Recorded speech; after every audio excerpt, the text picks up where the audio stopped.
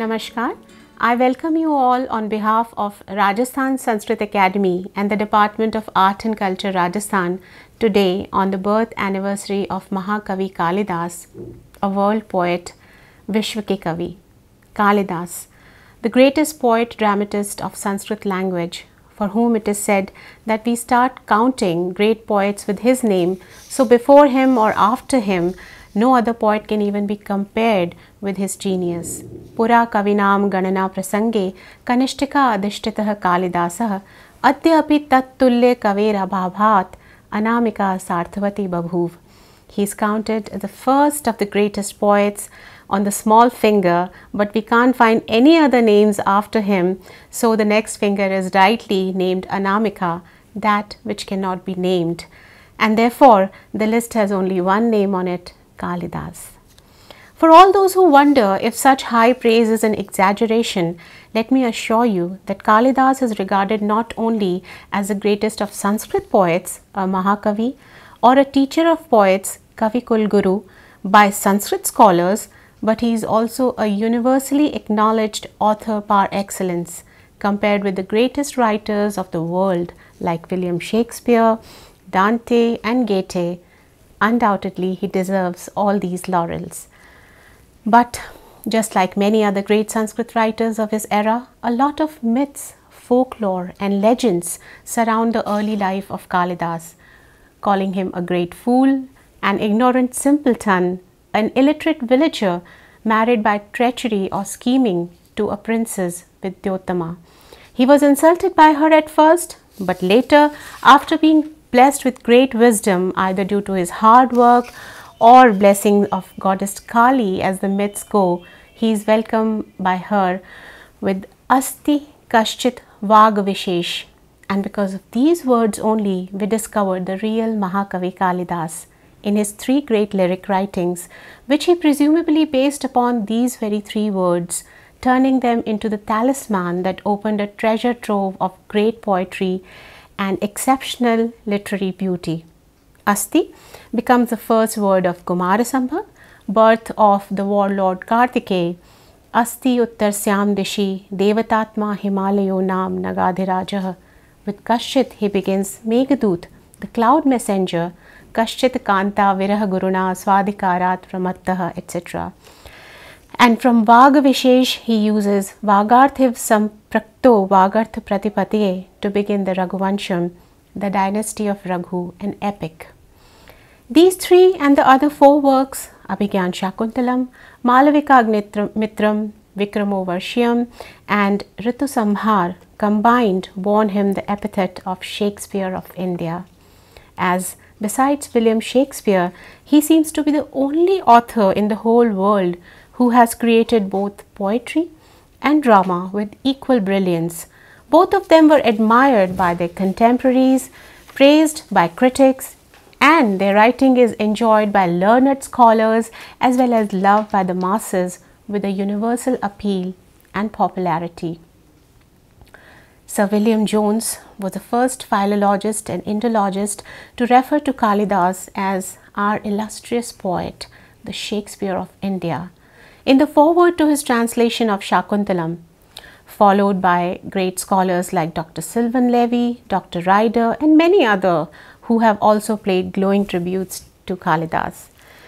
Sir Monier Williams, who has praised the richness of his poetical genius, exuberance of his imagination, and his knowledge of human heart depicted in Raghuvansham and Shakuntalam, also compared him with Shakespeare.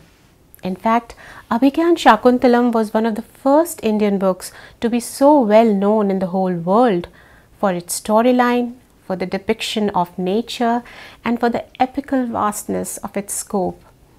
The great German author uh, and scholar Goethe has very effusively praised Abhigyan Shakuntalam with his words Wouldst thou the young year's blossoms and the fruits of its decline, and all by which soul is charmed and en enraptured, feasted, fed, would you the earth and heaven itself in one soul name combine? I name thee, O Shakuntala, and all at once is said.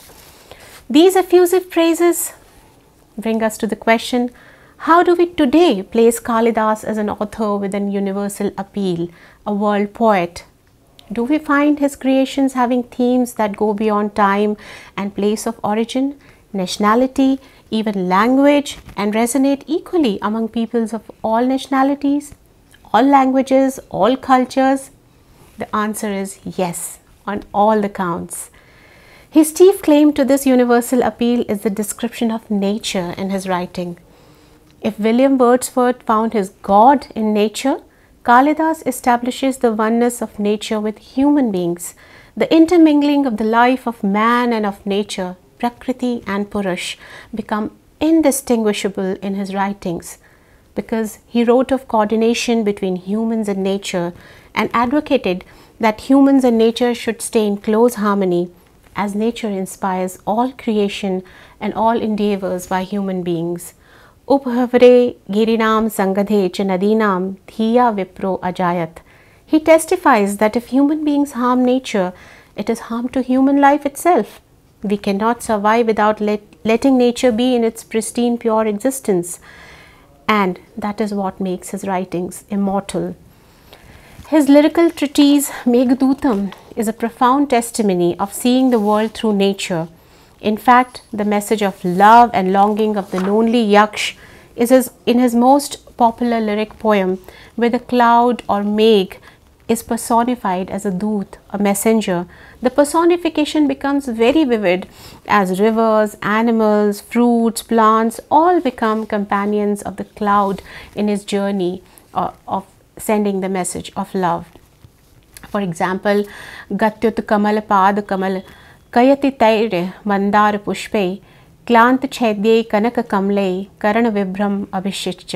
His message of love is depicted in these beautiful words as a message not only from the Yaksh to his lady love, the Yakshini, but to the whole world through nature, not only clouds, but flora and fauna of the whole of central and north India. Hills, trees, birds, rivers, flowers, all are presented in an enamoring manner so that the reader can actually watch the scenes or the description like a pictorial presentation as an integral part of the wistfulness and the pain of viraha or separation of the yaksh. धूम्र ज्योति सलिल मरुताम सन्निपात क्व मेघ संदेशार्था क्व पटुकरणै प्राणिभिः प्रापणीयाः so a non-living entity made entirely of vapor, smoke and water, Dhumra, Salil and Maruta becomes a messenger with intelligence and human senses. He also paints an accurate picture of various geographical places on the journey from Ramgiri where the Yaksh is exiling to Alka Nagari and all descriptions are comprised of natural places and natural scenery of the whole of North India. The timelessness of this appeal of nature is very poignantly decide, uh, described by Gurudev Rabindranath Tagore in his poem in 1889 when he says, In a gloomy closed room, I sit alone and read the Meghdoot.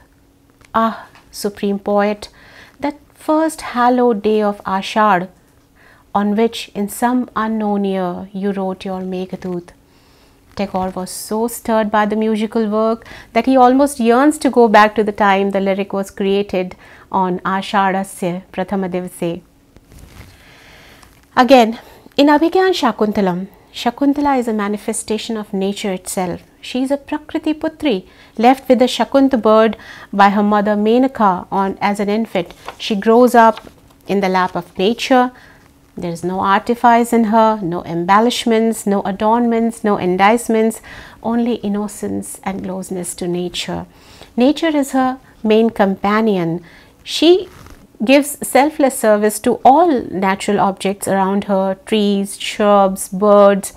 In fact, the fawn, the young deer, Dirghapanga, is like a child to her. She marries her creeper sister Vanajyotsna to the mango tree. This is how close she is to nature. The young fawn refuses water from the hands of a stranger but clings to the apron of Shakuntala as she has healed his injured mouth with the Ingudi herb.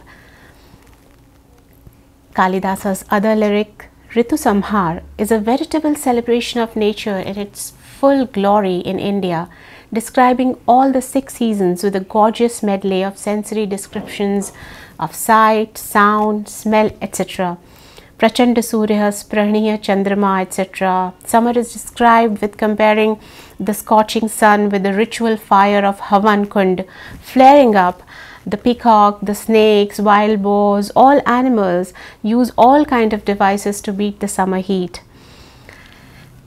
He describes the Himalaya with a detailed and vivid account in the epical poem Kumar Sambhav especially the stanzas in the beginning of the first canto with the residence of Lord Shiva, the huge Devda trees, saffron plants, origin of river Ganga, the Himalayan snow are described with lots of beautiful imagery. अनंतरत्न प्रभवस्य यस्य हिमं न सौभाग्यविलोपि जातम् एको हि दोषो गुणसन्निपाते निमज्जति इन्दो किरणेषु अङ्कः Thus, we can sum up that the contemporary reader would be interested in his uh, translation of nature from the transformation of nature from a nurturing mother, the mother earth, to a beloved one, even to a companion, a friend. And isn't this so relevant in today's issues of climate change and conservation biodiversity? Uh, so much so that some of the modern critics have called Kalidasa's poetry as eco poetry. It was indeed an extraordinary talent that on one hand from nature he receives inspiration for his poetry, while on the other hand he maintains the human touch.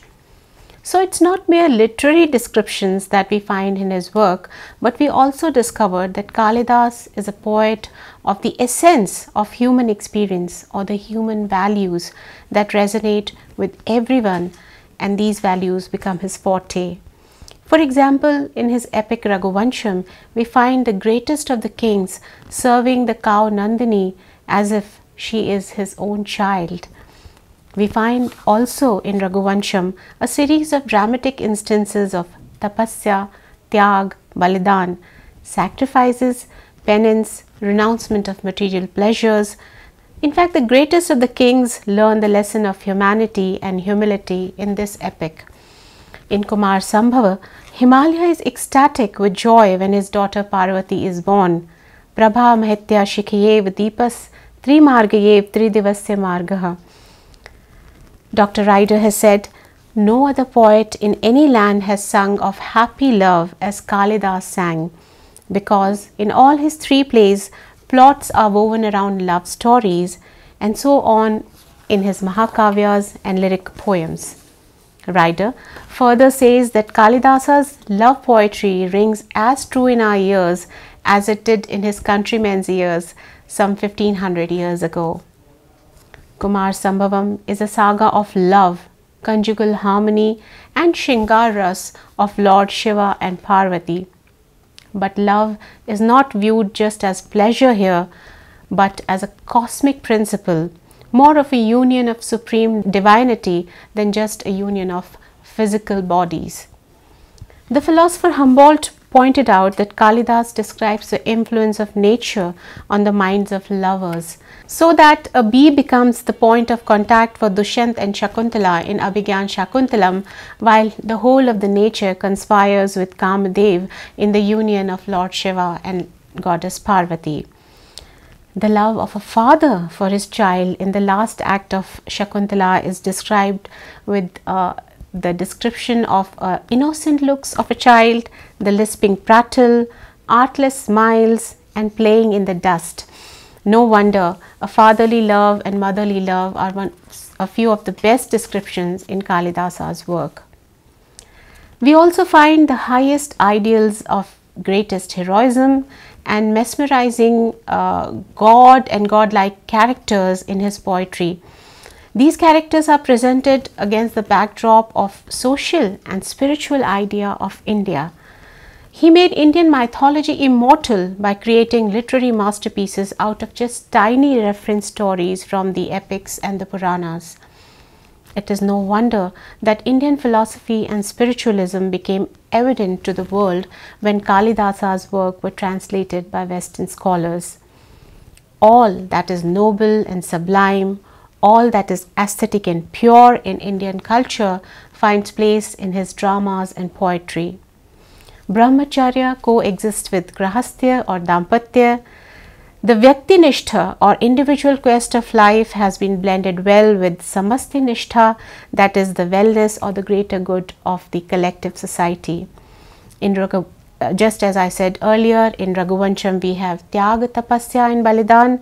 In Kumar Sambhavam we have the war between Sat and Asat, that is truth and evil as its main theme. The fourth chapter of Shakuntalam is an example of the lofty and noble values followed in Indian society. Kaveshu natakam ramyam tatra ramya Shakuntala tatrapi chaturtko tatra shlokah chatushtayam.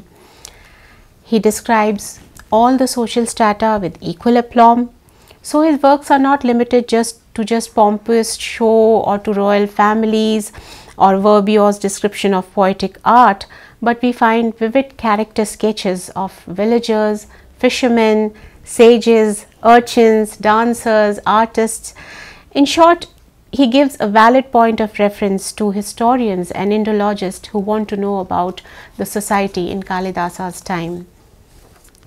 His female characters are as brave and intelligent, as feisty and bold, as independent and human as they are aesthetically appealing. Kumar Sambhavam has the most explicit and vivid description of feminine beauty of Parvati, but it is also an account of her tapasya, penance and renouncement of worldly pleasure for the attainment of her goal, that is, the birth of the warrior child, Kumar Kartikeya, who would fight and kill the demons. Shingar in his poetry is both suggestive, as in the bee episode in Shakuntalam, as well as elaborate in description of conjugal life uh, of Lord Shiva and Parvati in Kumar Sambhavam.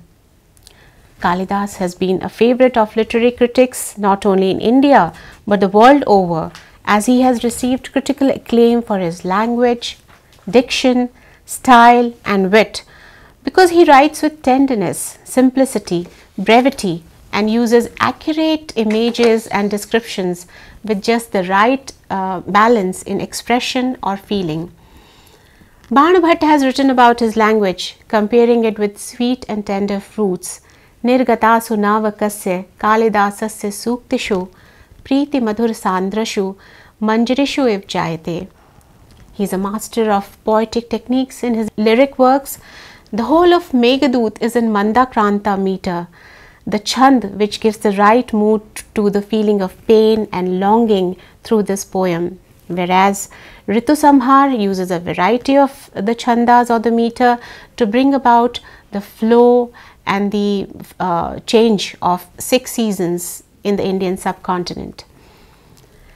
The rasa in his poetry is just like as in Wordsworthian poetry, a spontaneous overflow of overpowering emotions even the show of his genius is effortless in poetry as well as in the dramatic writings. Keith has praised him for his brevity of expression, richness of content, and power of sentiments and emotions, and the praise is not undeserved. He exploits all literary devices well, but he is the master of simile. Upama Kalidasasya is an apt epithet, if any, for his claim to poetical genius. His similes are simply brilliant. The most quoted one uh, is from Raghuvansha of the lamp flame.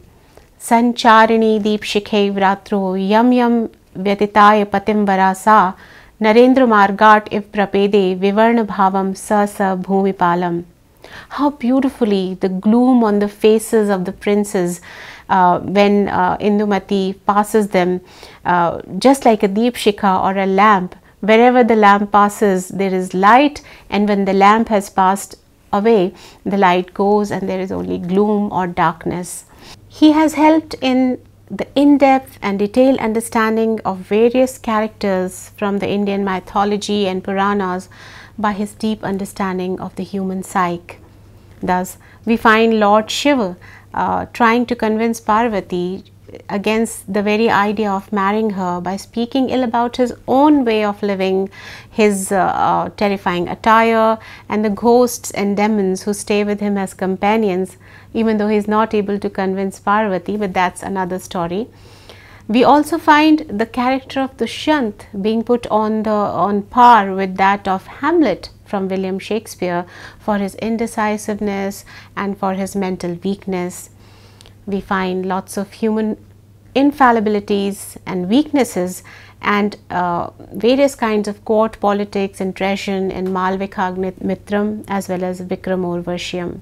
While the whole concept of Raghuvansh is to establish the human angle of politics and rulership by great rulers like Raghu, Aj or Lord Ram. Kalidas has also had a great influence on several Sanskrit works and all Indian literature. He had a great impact on Rabindranath Tagore and many other Indian writers, poets and uh, dramatists. Meghdut's romanticism found, is found in many later works. In fact, lots of uh, later poets wrote Sandesh Kavya just like Meghdutam was written. Sanskrit plays uh, by Kalidas influenced uh, various plays in the late 18th uh, and early 19th century not only in India but also in European literature. According to Dale Carnegie, the father of modern medicine, Sir William Osler, always kept on his desk a poem written by Kalidas.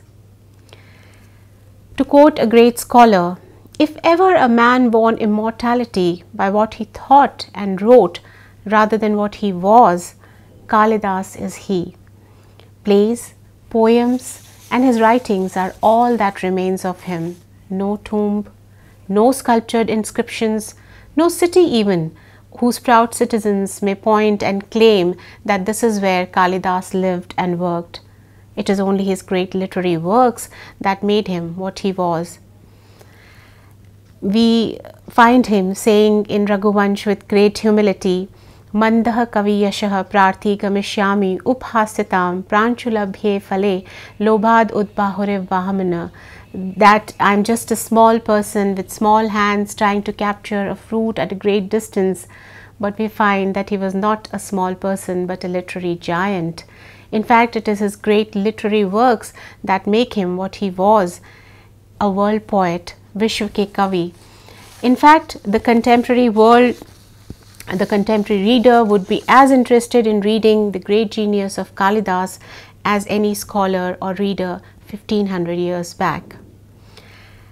Once again, I thank Rajasthan Sanskrit Academy and the Department of Art and Culture for giving me this opportunity today on the birth anniversary of Mahakavi Kalidas to be able to speak about him and his role as a world poet, a true Kavi of the Vishwa. Thank you.